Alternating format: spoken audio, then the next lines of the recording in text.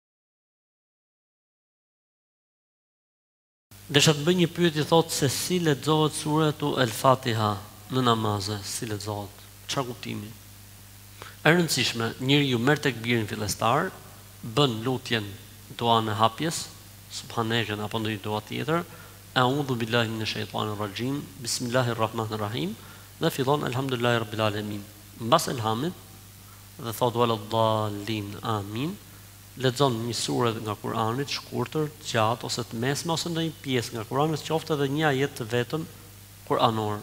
Këtë e bën edhe në rekatin e dytë, ndërsa në rekatin e tretë dhe të katërt mund të shtojë diçka përveç El-Fatihasë ose qëndron vetëm tek El-Fatihaja.